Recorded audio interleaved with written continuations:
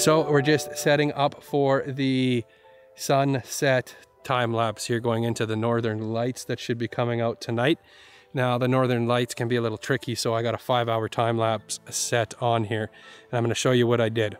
So if you've got the regular package for the Pocket 3 you get maybe three hours of battery time and we're going to shoot for a five hour motion lapse here. So if you've got the creator combo then you get this spare battery but I went and bought a second party, third party, Maectech is the brand, and it's a very good battery. I did a whole video review on it, but we're gonna slap this little sucker on, and this is going to give us the full five hour motion lapse so we can catch the northern lights.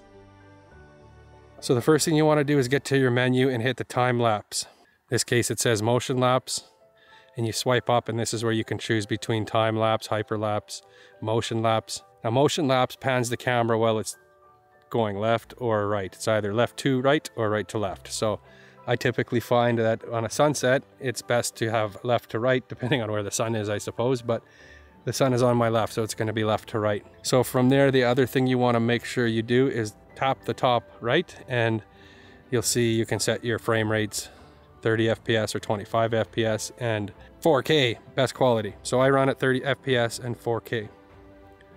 And we get out of that, swipe from right to left. Now this is the tricky part where DJI has us tricked. If you go into exposure, I found that if you run the ISOs low between 50 to 100 and let's say 50 to 400, I always keep it at 50 to 100 at night. The key to getting a good night lapse is a long shutter. And if you look up on the top, it's one over 240th of a second. That's very fast. It's not going to work very well at night. If you go to manual mode, the longest exposure we can have is one second. Now, typically for Northern Lights, you want to have at least five seconds, if not more. I find 15 is a very good number for this camera. With some longer durations between shots, you end up getting some nice kind of blur and it doesn't look so rigidity on the time lapse, the way the lights are shifting. So here's the trick.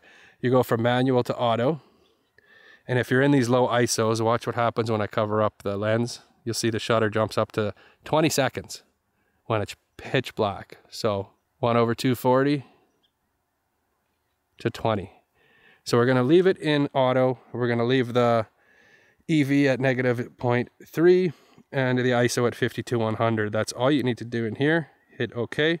Format, I like to do video plus raw because the raw videos you can edit the heck out of in post if you want to change the way it looks. And my white balance, I like a little cooler for the northern lights.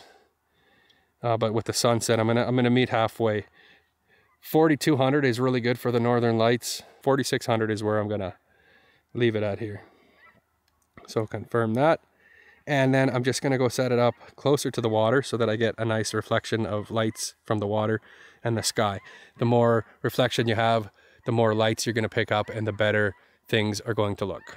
And right before we go into the water, we're gonna swipe up one more time and double check our settings. So motion lapse, five hours, 20 seconds left to right. Swipe up one more time and you get to pick your interval. 20 seconds, it'll probably do a 15 second shutter at 20 seconds and uh, duration for five hours. And that's where this magic little battery pack helps out to make us make sure we get the whole five hours. So as the sun sets, I'm going to have, let's say four, four hours after dark to catch the northern lights. If any of the lights show up, I'm going to see them when I wake up at uh, about two in the morning and I'm antsy to come out and get the camera. So let's go set it up and catch some lights.